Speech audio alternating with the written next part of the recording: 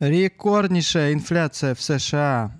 9,10%. Впервые с 81 года у нас такой показатель. Люди в Китае по беспределу атакуют банковские здания, которые заблокировали им выводы. Государственные банки Китая заблокировали выводы. А на биткоине тем временем загорелся индикатор абсолютного дна PI Cycle Bottom. О чем это нам говорит с вами, ребята? Все это и многое другое в сегодняшнем видео, поэтому если вам нравится криптоконтент, не забудьте поставить лайк, подписаться, нажать на колокольчик, и мы начинаем. Погнали. P-Cycle Bottom, тот самый P-Cycle Bottom, который мы так с вами долго ждали, загорелся на биткоине прямо сейчас. Он, конечно, еще немного появляется и исчезает на некоторых биржах, но в целом уже эти два мувинга официально пересеклись, как вы можете видеть, 471 и 150. Соответственно, это дно. Но опять же, ребята, э, надо понимать, что это индикатор написан по истории, по предыдущим донным значениям. Это не факт, что он сейчас точно отработает. Например, для сравнения, если вы взглянете его на эфире, он нифига не точно показывал дно э, цикла. Если вы взглянете его там на лайткоины или на дэше, он там совсем не точно показывал дно э, цикла. Ну хотя вот здесь, кстати, точно показал.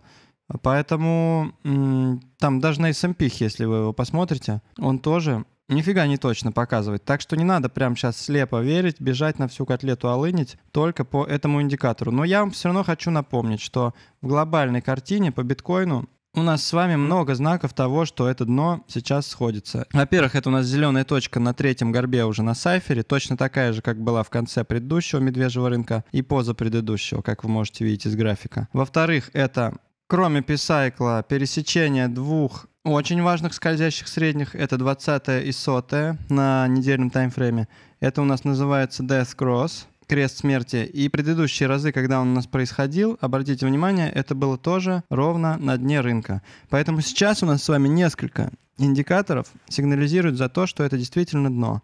Это глобально.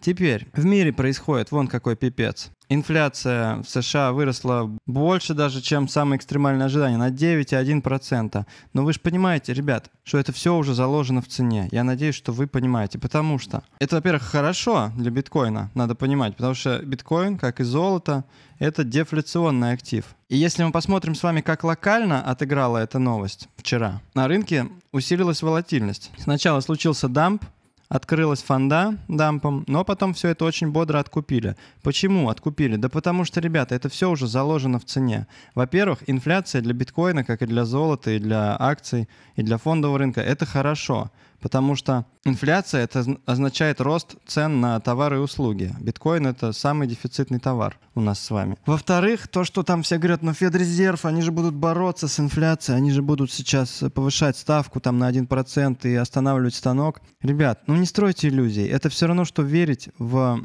то, что у нас там, я не знаю, честные выборы или честная полиция. Ну, слушайте, тот, у кого есть доступ к печатному станку, он обречен. Это порочный круг, он будет печатать деньги. Ну вот подумайте сами, если бы у вас был доступ к печатному станку, вы бы разве не печатали? Поэтому все это сказки про то, что они там сдерживают. Сейчас они чуть-чуть поздерживают, потом отпустят, новую пандемию придумают и начнут печатать. И начнется такое, что у нас не, учтено в цене даже то, что уже напечатано за последний год. Вот только с коронадампа, с э, марта 2020 года, вот с этой точки, грубо говоря, уже напечатали денег, ну, очень много, я вам так скажу. Очень-очень много. Скорее всего, несколько иксов. Но нам об этом не говорят. И с тех пор биткоин вырос, конечно. Но вырос-то всего, ну сами посмотрите. Всего ничего. До предыдущего своего all-time high.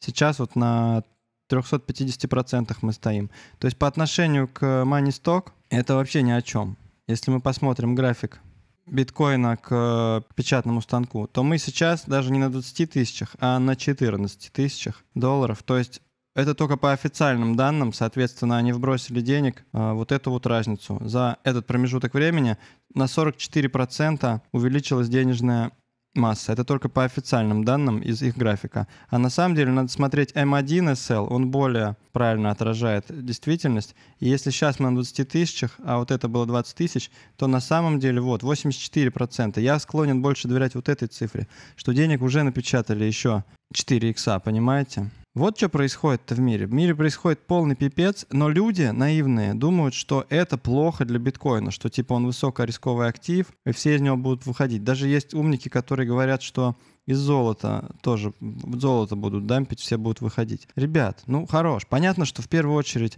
это продукты питания, сырье, там необходимые вещи какие-то будут в цене. Но слушайте, биткоин самый дефицитный актив. Теперь посмотрите, что происходит в Китае. Люди взбесились, потому что их счета в банке просто заморозили и не дают им выводить средства. Вы понимаете, что биткоин — это ответ на эту проблему. Он был придуман как иголка, которая проткнет этот пузырь. Пузырь долга, пузырь э, коррупции, пузырь государственной власти, института президиума, полиции, все этого говна. Биткоин — это ответ на это, но только настоящий биткоин. Только если вы храните свои биткоины не на бирже, не у дяди Васи, не на Бинансе, а у себя на холодном кошельке, ребят. Это очень важно понимать. Поэтому понятно, что вы там трейдеры все торгуете, но вы торгуете на тот объем, который у вас отведен для трейдинга, а профит выводите весь на холодный кошелек. Только так. Иначе ваши средства могут также заблочить. Как было с Celsius Network, собственно. Вон, кстати, Тон Вейс, наш дружище, выложил прекрасный кусочек дебатов, своих дебатов с Алекс Машински,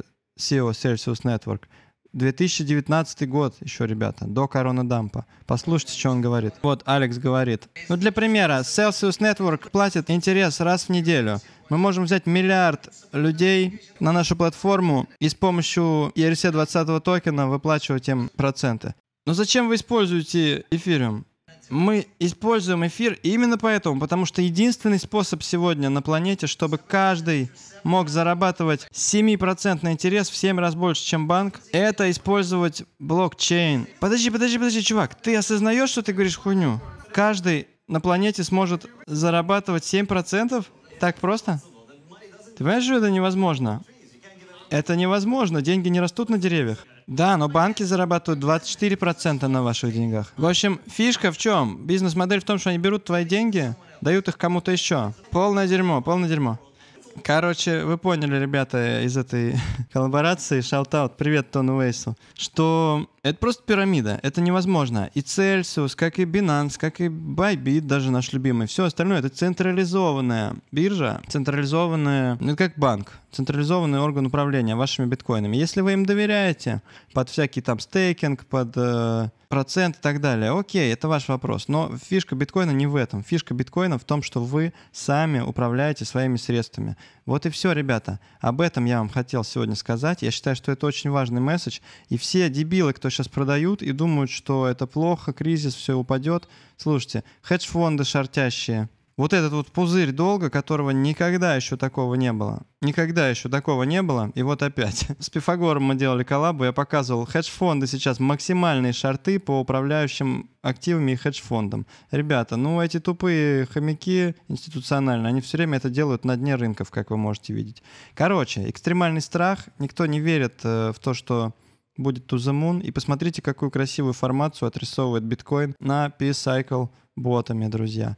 Вот, поэтому мой план остается моим планом. Я жду сильный отскок как минимум до 30 тысяч, а вообще глобально я жду супер-мега булран с переписыванием all-time high. Понятно, что это не так быстро произойдет. Скорее всего, это будет тягомотно с вот такими флетами. Хотя, опять же, еще раз вам говорю, с учетом инфляции все может быть. Поэтому позаботьтесь о том, чтобы вы были в ракете, торгуйте аккуратно, не забывайте выводить на холодный кошелек, если есть, конечно, что выводить. А если нету, то торгуйте аккуратно. Если вы не знаете, как торговать на бирже Bybit, посмотрите обязательно мой видеоурок по этой бирже. Он сейчас появится у вас вот здесь. И всем, всем профитролей. С вами был Грининг, канал CryptoCommons. Ставьте лайк, подписывайтесь на канал. И скоро увидимся. Пока.